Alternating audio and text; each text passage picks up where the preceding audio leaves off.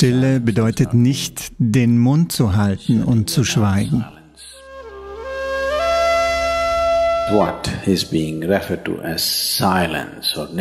Was als Stille oder Nishabt bezeichnet wird, man kann das nicht tun.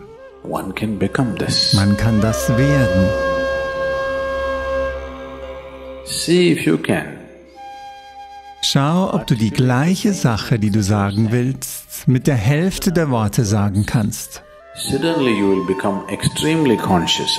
Plötzlich wirst du dir allem extrem bewusst werden.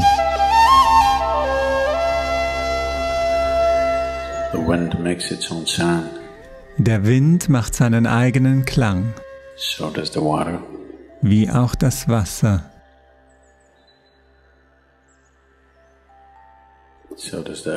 Wie auch die Erde. Tatsächlich auch der Himmel. Alle Himmelsobjekte machen ihre eigenen Klänge. Es gibt Klänge des Schmerzes, Klänge des Vergnügens, Klänge des Elends, Klänge der Freude. Für alles gibt es einen Klang. Mit dem menschlichen Leben ist es sehr wahr. Klänge des Lebens und es gibt Klänge des Todes. Und es gibt sogar Klänge der Stille.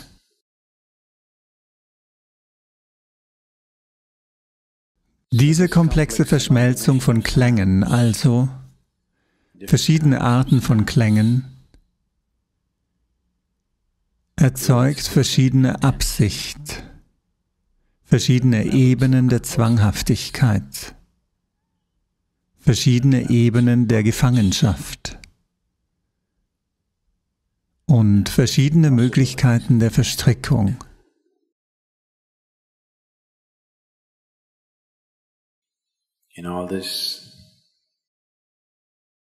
Bei all dem Warum sollte man sich entscheiden, still zu werden?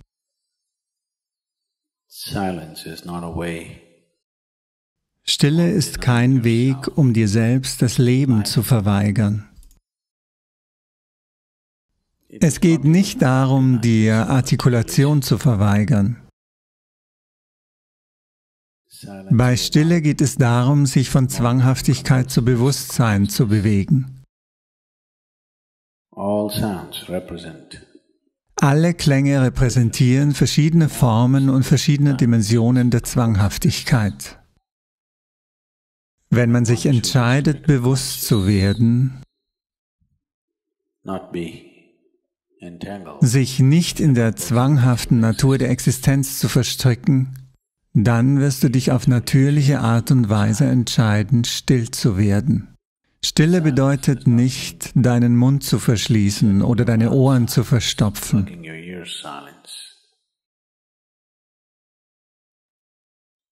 Du kannst in Stille singen. Du kannst in Stille tanzen. Du kannst sogar in Stille sprechen. Du kannst sogar in Stille schreien. Versuch es nicht.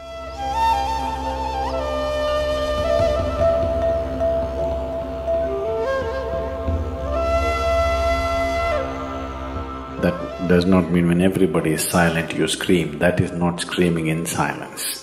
Das bedeutet nicht, dass du schreist, wenn alle still sind. Das ist nicht in Stille schreien. Denn Klänge sind an der Oberfläche. Stille ist im Kern. Es ist nur die Oberfläche, die den Klang macht. Sieh nun trifft das Wasser die Oberfläche und das erzeugt den Klang. Tief unten gibt es keinen Klang. Das ist so mit dem Leben. An der Oberfläche ist es ein sehr komplexes Netz an Klängen.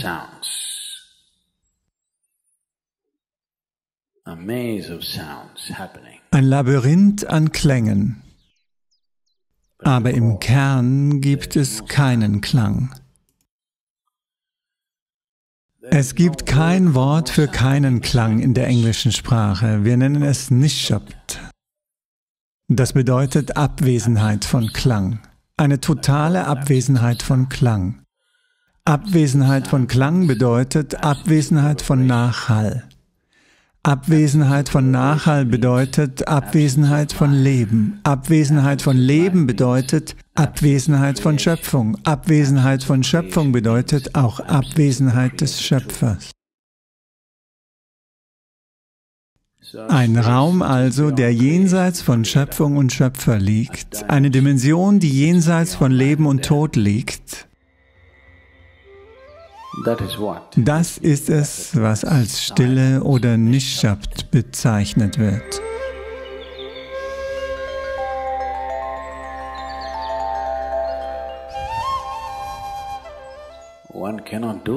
Man kann das nicht tun.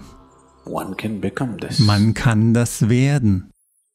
Im Allgemeinen gibt es zwei Wörter, die verwendet werden, um dies zu beschreiben. Eines ist Maun, das bedeutet, dass du Stille übst. Du bist nicht still.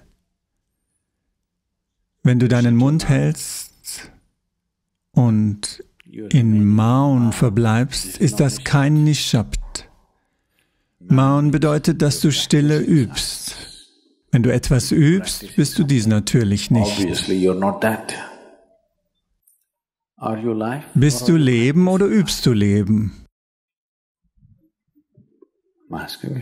Ich frage euch, seid ihr Leben oder übt ihr Leben? Ihr übt Leben? Nein, ihr seid Leben. Vielleicht nicht besonders gut geübt, aber ihr seid Leben. In ähnlicher Weise gibt es einen Unterschied zwischen dem Üben von Stille und dem Werden von Stille. Das Üben von Stille beginnt als eine gewisse Einschränkung. Aber langsam, wenn man Stille übt, kann man möglicherweise still werden. Man kann still werden bei intensiver Aktivität. Aber niemand kann intensive Aktivität für immer aufrechterhalten. Momente intensiver Aktivität sind nur Momente. Niemand kann sie aufrechterhalten. Du wirst dich verausgaben. Nur wenn du es in Inaktivität erreichen kannst, ist es nachhaltig. Wenn etwas nur in intensiver Aktivität möglich ist, ist es niemals nachhaltig. In einem sehr intensiven und ekstatischen Moment des Singens kann jemand einen Moment der Stille werden oder schmecken. Aber wie lange kann man das durchhalten? Deine Kehle wird reißen und deine Nachbarn können dich umbringen. Möglicherweise. Diese Möglichkeit also, zur Stille zu kommen oder still zu werden, bedeutet auch, ruhig zu werden, völlig ruhig zu werden. Ruhe kann auf so viele Arten erreicht werden. Wenn du eine Schlange beobachtest, sie ist ruhig. Wenn du einen Tiger beobachtest, der auf der Jagd ist, absolut ruhig, geladen, aber ruhig. Dies sind alles verschiedene Dimensionen der Ruhe, ausgeübt, um zu überleben. Wenn eine Schlange sich zu oft bewegt, wird sie getötet.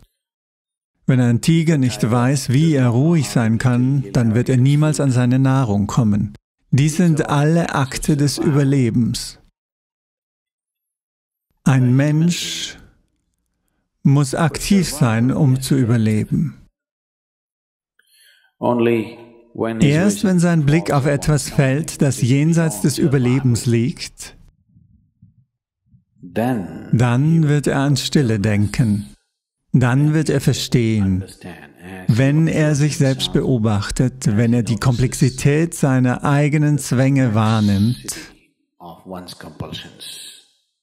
dann versteht er, dass der einzige Weg, sie zu lösen, darin besteht, still zu werden, diesen Körper zu trainieren, diesen Verstand zu trainieren, still zu werden,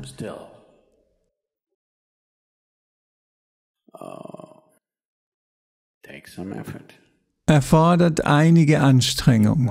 Wenn man einfach nur glückselig ist, wird man still sein. Aber ansonsten muss man Stück für Stück arbeiten. Man muss arbeiten, um diesen Körper zur absoluten Stille zu bringen. Die meisten Menschen können ihren Körper nicht für längere Zeit an einer Stelle halten. Sie sind ständig in Bewegung.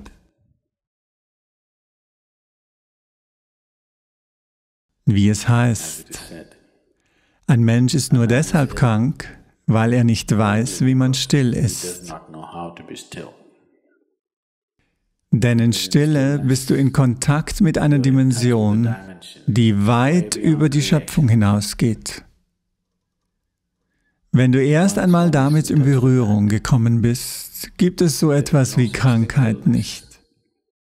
Wenn ich hier sitze und der Körper verrottet und abfällt, gibt es trotzdem keine Krankheit. Es ist nur da, weil tatsächlich kann es sein, dass jemand, wenn er ganz still wird, nicht in der Lage ist, den Körper zu halten, es sei denn, er lernt die Tricks, den Mechanismus des Körpers. Also warum sollte ich still werden? Werde ich meinen Körper verlieren? Du wirst sowieso deinen Körper verlieren. Wenn die Zeit kommt, deinen Körper zu verlieren, wenn du ihn würdevoll verlieren möchtest, dann musst du wenigstens ein bisschen über Stille wissen. Wenn du deinen Körper so ablegen willst, wie du dieses Stück Kleidung ablegen kannst, mit der gleichen Leichtigkeit, mit der gleichen Würde, dann musst du eine gewisse Stille in dir haben. Sonst müssen du und dein Körper auseinandergerissen werden, was eine hässliche Sache ist. Wenn du von deinem Körper weggerissen wirst, ist das eine hässliche und schmerzhafte Sache. Solange du deinen Körper nicht ablegen kannst, gibt es keine Gnade im Leben.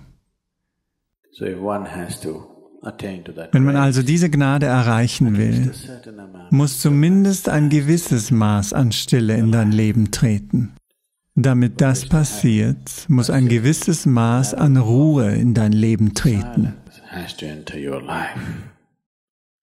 Wenn es gerade jetzt nicht kommt, dann übe wenigstens ein bisschen Maun. In einer Stunde, wenn du jetzt 1573 Wörter sprichst, wie viele Mal? Wie viele Wörter spuckst du in einer Minute aus? 1573, du sprichst tatsächlich so viele? Ich dachte, das sei unmöglich. Okay, ich glaube dir. Also welche Anzahl auch immer du sprichst, schau, ob du nicht die gleichen Dinge mit der Hälfte der Worte artikulieren kannst. Auf einmal wirst du dir allem extrem bewusst werden. Im Moment passiert ein oraler Durchfall. Wenn du 1573 sprichst, ist es Durchfall, okay? Wenn du jetzt die Hälfte der Wörter zurückhalten musst und trotzdem das Gleiche sagen willst, dann musst du jetzt sehr bewusst sein, sonst kannst du es nicht sagen. Versuch das einfach und schau. Morgen für einen Tag.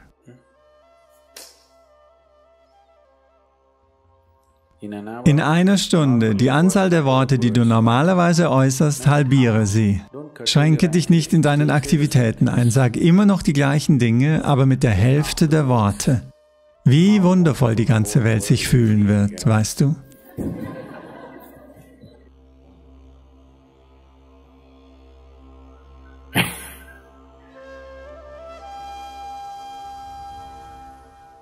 Die Welt wird ein wundervoller Ort sein, ich sage es dir, morgen, wenn jeder das tut. Hm.